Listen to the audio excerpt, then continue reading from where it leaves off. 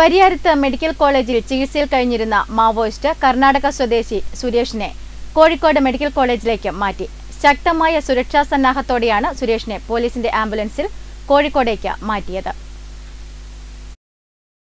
ആനയുടെ ആക്രമണത്തിനിരയായ മാവോവാദി സുരേഷിനെ ചിറ്റാരി കോളനിയിൽ ഉപേക്ഷിച്ച് അഞ്ചംഗ സംഘം കടന്നുകളയുകയായിരുന്നു. തുടർന്ന് പോലീസ് സുരേഷിനെ പരിയാരം ഗവൺമെന്റ് മെഡിക്കൽ കോളേജിൽ എത്തിച്ചു.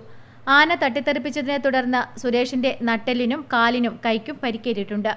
ചെറിയ രീതിയിൽ ആന്തരിക രക്തസ്രാവവുമുണ്ട്. മെഡിക്കൽ കോളേജിൽ തടവുകാർക്ക് വാർഡില്ലാത്തത് സുരക്ഷയെ ബാധിക്കുമെന്ന ആശങ്ക ഉയർത്തിയതിനെ തുടർന്ന് തിങ്കളാഴ്ച തന്നെ കോഴിക്കോട് മെഡിക്കൽ കോളേജിലേക്ക് മാറ്റാൻ ആലോചിച്ചിരുന്നു. എന്നാൽ അവസാന ഘട്ടത്തിൽ തീരുമാനം മാറ്റിയിരുന്നു. സുരേഷിനെതിരെ ഭീകരവിരുദ്ധ നിയമപ്രകാരം കേസെടുത്ത് റിമാൻഡ് ചെയ്തിരുന്നു. മതിയായ സുരക്ഷ ഉറപ്പുവരുത്തിയാണ് ചൊവ്വാഴ്ച ഉച്ചയ്ക്ക് രണ്ടു മണിയോടെ പോലീസിന്റെ ആംബുലൻസിൽ കോഴിക്കോട് മെഡിക്കൽ കോളേജിലേക്ക് കൊണ്ടുപോയത്. സുരേഷിന് ശക്തമായ കാവൽ ഒരുക്കിയിരുന്നു.